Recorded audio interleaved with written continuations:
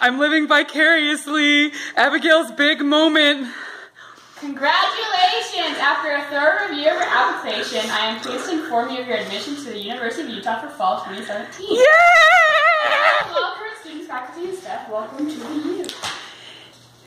Yay! Show me the U. Show me the U. Oh yeah. Oh yeah. Oh yeah. New to the U.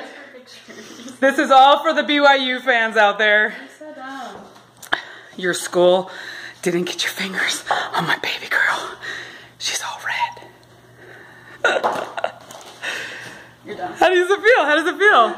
You could be a college girl. How's it feel? Get ready for my soccer game! Yeah, it's awesome. Come on. Mom, I Come on, give me some emotion. My soccer game. Just something. Anything. Yay! Yeah!